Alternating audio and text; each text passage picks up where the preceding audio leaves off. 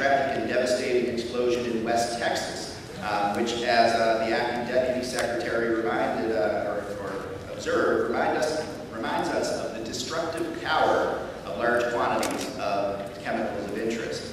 So although there is no indication that the explosion in West was the result of a terrorist act of the sort that CFATS is designed to protect against, it really reflects why we've been working so hard across this industry to ensure that high-risk facilities containing large quantities of and toxic chemicals are secured against terrorist attack.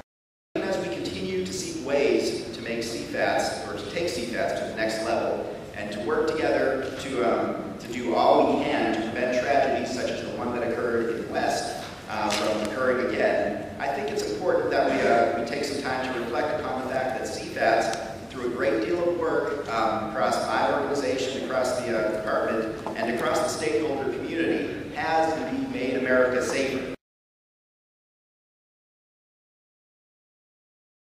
Um, you know, facilities across an array of industry segments have submitted more than 40,000 top screens notifying us of threshold uh, holdings of chemicals of interest.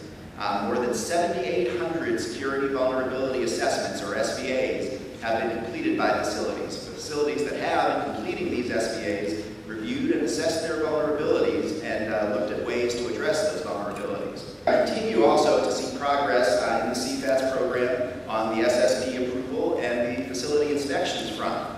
Um, just looking back at this time last year when I was uh, here at the, uh, at the sixth annual summit, uh, we were talking about having authorized midpoint in the, uh, in the continuum of, of activity on the SSPs, 50 site security plans. Uh, we're now, I'm here now to talk about having authorized upwards of 500 SSPs.